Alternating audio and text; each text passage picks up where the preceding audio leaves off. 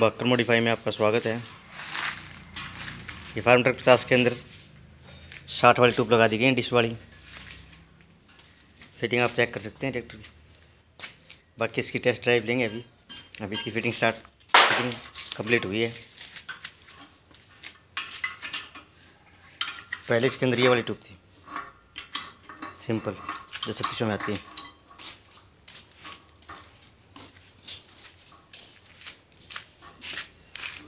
ये simple dish वाली है और इसके अंदर ये ऑयल ब्रेक वाली है।